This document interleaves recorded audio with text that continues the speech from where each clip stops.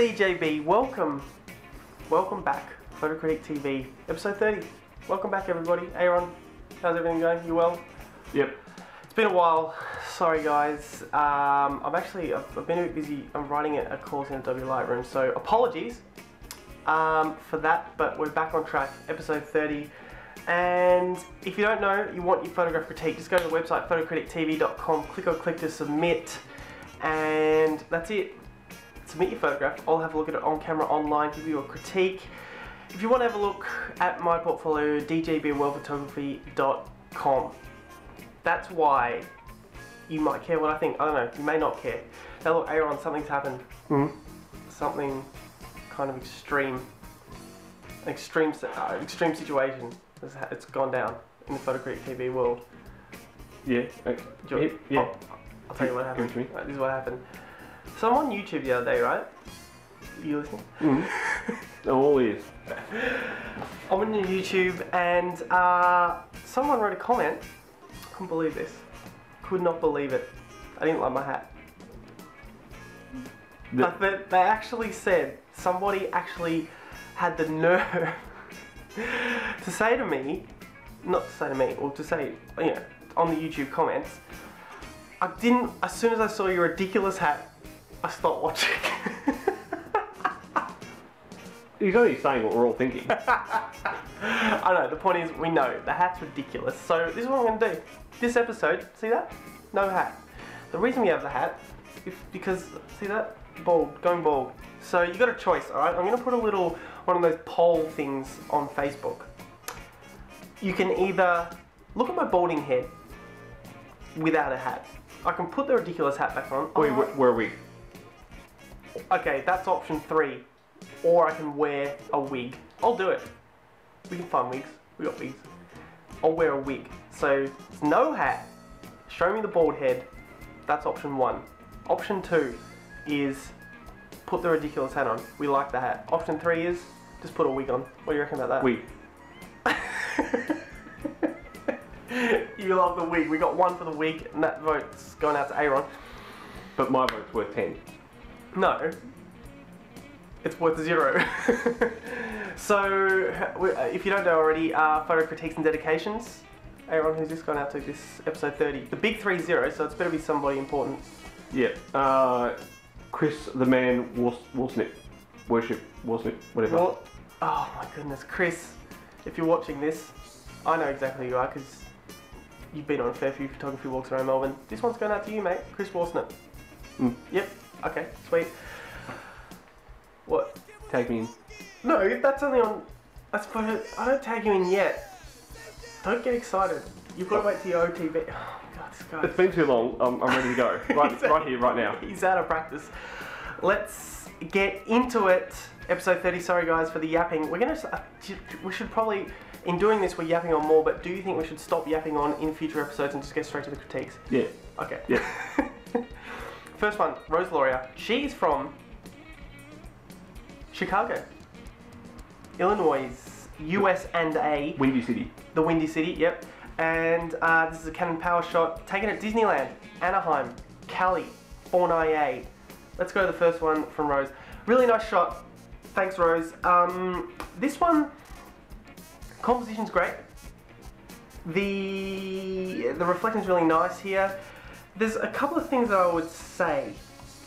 Um, that firstly, what I like is actually this time you've placed the horizon in the center of the photograph, and it actually works. I think in this case because we have some symmetry between the sky and the reflection in the water, so that kind of works. Normally we don't want to place the horizon in the center because it just doesn't look very pleasing to the eye. This time I'm happy with it. I think it works. Um, so no problems there. The the composition's good. It's it's nice and simple we can we can tell the subject is the, the ferry in the back of there. There's no real distractions around. It's just a nice, pleasant, simple image.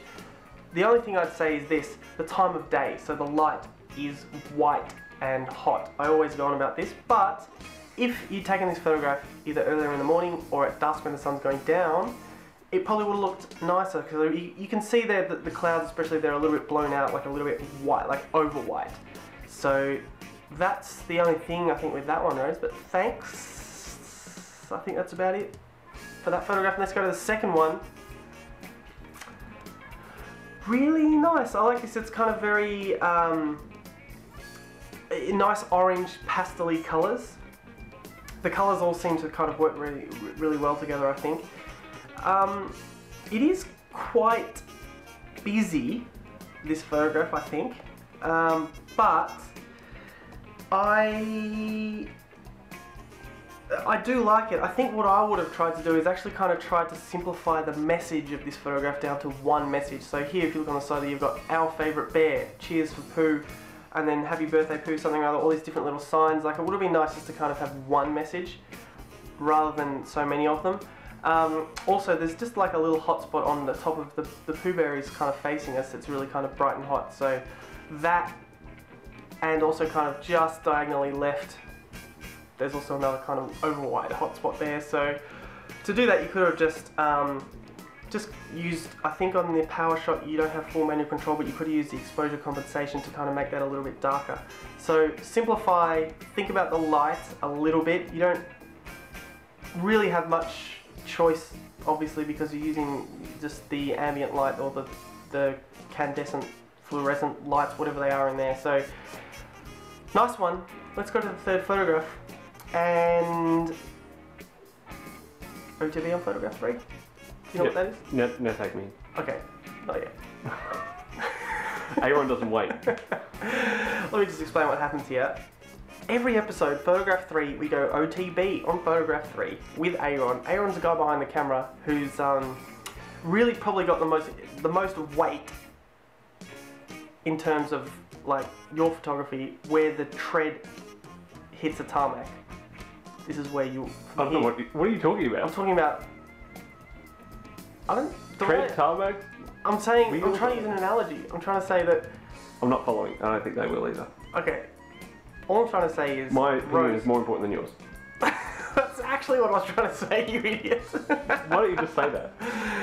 this is where it gets real. Okay, Rose, here we go. OTB photograph three. Now we're going to take you in. Yep. Ready? Take it. Take the pad. You got seven seconds. Oh, You only give him seven seconds, Aaron. He's got the pad right now. Seven seconds. OTB photograph Hold three. on, wait. What? The, the pad's locked up. You need to put a key password thing in. Oh no, you just slide open. That's what. That's how you do it. There's no password on that. I don't have a pad. I don't know how to He work the does, pad. doesn't know how to work the pad. He normally he stays away from the pad. I give it to him once every episode. He's got no idea. Quiet. He's got no, no idea. You ready? Yeah. What is it? What's your comment? My comment. I think I see a ghost. You, you think you see a ghost? Yep. Whereabouts? In the picture. You're where? In the picture. In there. I can't see any ghosts. You're not looking hard enough. It's, it's there. I see it. I can't see it. I can't see a ghost. Where? You show me. That's because, my opinion, I, I'm much better at this than you are. You're not answering the question. It's there. It's as plain as day, or the, Alright. So, this is what I'm going to do. I always try and kind of interpret what that guy says, that guy, Aaron. Hmm. Um, so, what? I'm agreeing with you. Okay, yep. Um, so, yeah, so Rose, I think I see a ghost. Aaron saying, yep, it's scary. He's a bit scared. He's probably going to have nightmares tonight. Yep, Will you hold me? yep. For five minutes. what are we talking I was joking. Look, I'm there for you. All right, so Rose, the thing with this one is, um, like I always say, I w- is there a reason you went to black and white? Because sometimes I always like to know what the original one looked like. Because normally when we go to black and white, we're trying to eliminate distractions. Um, and when I say distractions, I mean like distracting colors. So it would have been interesting to see what the black and white version looks like.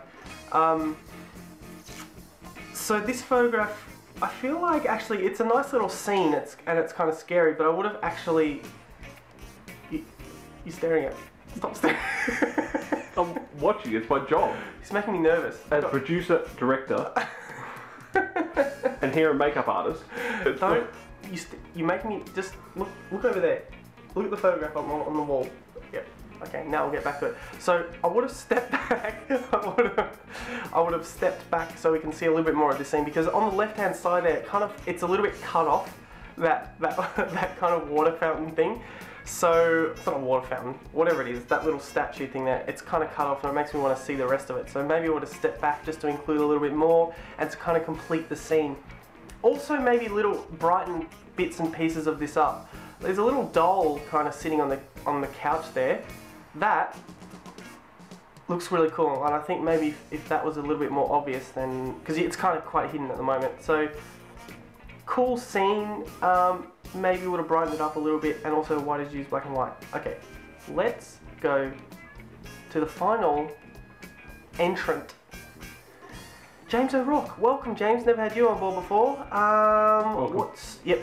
Aaron says welcome, hello, and Next episode's for you, buddy. yep. Oh, there you go. He's going to dedicate one to are you? If you like his page, so I think that's how it works, isn't it? You have to go. Yeah. This, Yep. yeah.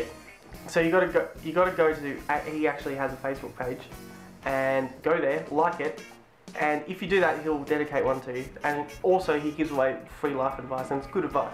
I, I ask him all the time, like off camera, just get some advice, just about life. You ask me every episode. Not only that, Number three. yeah. We ask each other. Well, we ask each other. Clearly, you give me the most difficult one every week because you know you Yeah, know I can't do it. Yeah, I can't do it, so I ask him. Let's. What the hell are we talking about? Okay, James. James O'Rourke, welcome. James is from Hereford. I think I pronounced that correctly. Um, he's in the UK. And Sony Alpha. They're the digital SLRs from Sony. That's what that's what James is using. And let's see. Lead the view into something else is hidden in the photo. Cool. So to, I'm trying to create some curiosity. Okay, cool. Let's open it up. Have a look. So, James, nice photograph. This first one of yours. I do like it.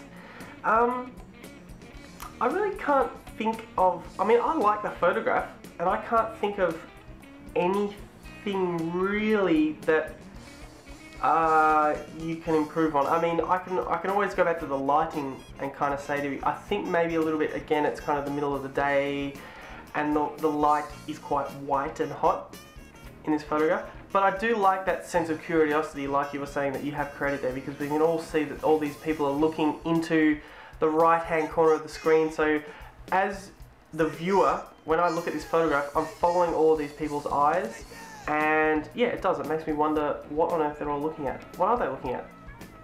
I don't know. Do you want me to tell you? Yeah, Aaron's gonna have a go. What do you think they're looking at? Actually, James, yeah, let me know. If you know what they're looking at, write a comment about it. I, I need to know. Sometimes I get, I just have to know. Aaron, someone stepped in dog poo and. someone stepped in dog poo, and they're all trying to get it off his shoe. Is that what you're trying to say? Yeah. You're an idiot. So,